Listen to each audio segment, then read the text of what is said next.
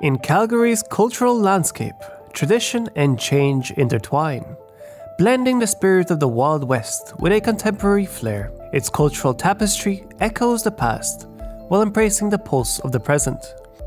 Calgary sits on the western end of the Great Plains, around 80 kilometers east of the Canadian Rockies, 299 kilometers south of Edmonton, and around 240 kilometers north of the Canadian United States border. Calgary is home to a population closing in on 1.5 million people, making it the third largest city and fifth largest metropolitan area in Canada. It offers a high standard of living with a strong emphasis on outdoor activities, arts and culture, and entrepreneurial opportunities.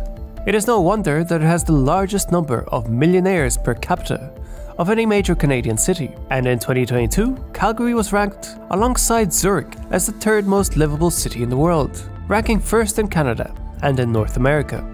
Thousands of years ago, the land that is now known as Calgary was home to the indigenous peoples, including the Blackfoot, Stoney Nakoda, and Tsuut'ina nations. These communities relied on hunting, gathering, and trading for their livelihoods before the European settlers arrived in the late 19th century. Calgary got its name from the Calgary Castle on the Isle of Mull in Scotland. The commissioner of the Northwest Mounted Police used to visit the castle, and the Scottish name Calgary is believed to come from the Old Norse words kald and gart, which mean cold and garden. Speaking of the cold, the climate in Calgary is characterized as a humid continental with distinct seasons. Summers are generally warm, with average temperatures ranging from 20 to 25 degrees Celsius, that is 68 to 77 degrees Fahrenheit. Winters are cold and snowy, with average temperatures ranging from minus 10 to minus 20, 14 to minus 4 degrees Fahrenheit. Calgary experiences low humidity throughout the year, and the region receives a moderate amount of precipitation, mainly in the form of snowfall during the winter months. The city also enjoys abundant sunshine, so wouldn't describe Calgary as a particularly cold place. The Canadian Pacific Railway chose Calgary as a key centre for its transcontinental train in 1833. The railway linked Calgary to central and eastern Canada and to Vancouver on the west coast. Calgary went from a sleepy frontier village to a thriving hub of ranching and agriculture. Originally, the railway route was not planned to pass near Calgary. Those concerned with the defense of the young nation proposed a route near Edmonton, since it was much further from the border with their savage invading neighbours. Calgary underwent rapid economic expansion, fueled by the discovery of significant oil reserves in 1914 and the subsequent development of the energy sector. When pipelines were constructed and refineries sprouted up, attracting many energy companies to the area.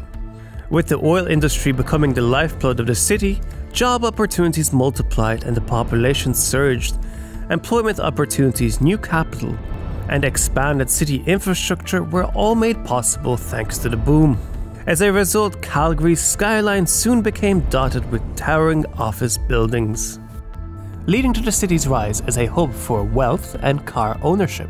And by 1967, Calgary had the highest number of millionaires in Canada and boasted the highest per capita car ownership in the world. But in the 1980s, the city faced significant challenges, particularly during the market crash. Plummeting oil prices resulted in widespread economic uncertainty, leading to layoffs and financial struggles. Decreasing its dependency on oil and diversifying its economy became its survival strategy as the city shifted its focus on finance, technology, tourism, and transportation. Even as the city of Calgary grew and diversified, the oil industry remained an important part of the city's overall economic makeup. A large number of significant oil and gas corporations maintained their headquarters and primary operations in the city. Calgary is known for the Calgary Stampede, which is a world famous rodeo and fair. It is emblematic of the city's long standing commitment to its western roots. But in recent years, several groups in Calgary have expressed a wish to shed the city's cowboy image, with the rapid population increase and the resulting flood of individuals from other cultural origins. Another perspective stresses the importance of changing to reflect a more progressive and modern character. Despite its historical and cultural significance, Calgary's cowboy image has been criticized for being outdated. It's an ongoing conversation about keeping traditions or being open to new things in a changing world. Calgary Stampede is a 10 day fair, reminiscent of the Texas Rodeo, celebrated every year in July. The event includes activities such as parades, rodeo competitions, where daring and talented cowboys do real cowboy stunts, chuck wagon racing, where thoroughbred horses outrace each other, and parade and grandstand shows, where performers showcase country and folk music traditions of the American West. It was started in 1912 by prominent rancher and businessman Guy Weadick, who was also a former Wyoming cowboy. The stampede quickly gained popularity, drawing participants and spectators from across North America. The festival has deep roots in Canadian history, and its origin may be traced back to the early days of the Canadian West. Since the Calgary Stampede's start in 1912, the city has been known as a Western tourist destination, and earning Calgary the nickname Stampede City.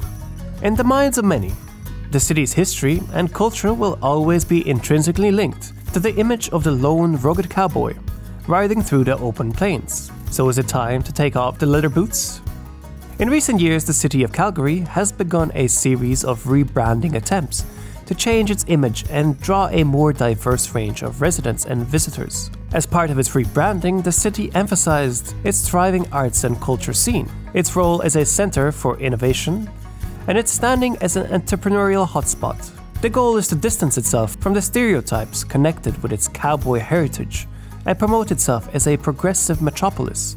Proponents of rebranding argue that Calgary can only survive by adopting a more varied identity. They think that getting rid of the cowboy stereotype will make the city more inclusive and appealing to a wider spectrum of businesses, workers, and tourists. On the other hand, Calgarians do not share this opinion. They argue that the cowboy tradition should be maintained, since it is an important part of the city's history. They think the cowboy image serves as a unique selling point, bringing in visitors from all over the globe.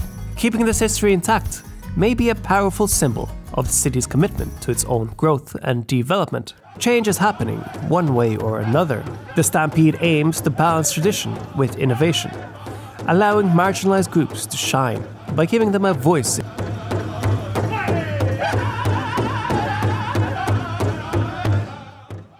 So, this is Calgary, a vibrant contemporary metropolis with an economy that is comprised of a wide range of businesses, and the city's population is steadily increasing as more people move there to take advantage of the commercial prospects and great quality of life. Despite maintaining its western past and cowboy character, Calgary has evolved from a little railway outpost into a bustling metropolitan hub, which displays the city's resilience, innovation, and entrepreneurial spirits. Next, you may be interested in watching my video on Vancouver. Click right here. And this is my Patreon map. Everyone on this map is a legend and a direct supporter of the show. Thank you guys. Geoperspective out.